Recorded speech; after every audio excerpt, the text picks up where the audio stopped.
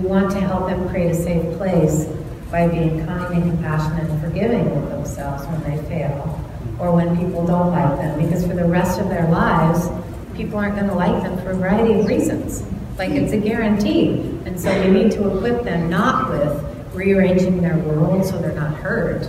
That creates like not children who aren't going to be able to live in an adult world, um, but to help them find a place inside where they can seek God, of course, ask for His help, but also be a friend in themselves. Like it's it's life changing.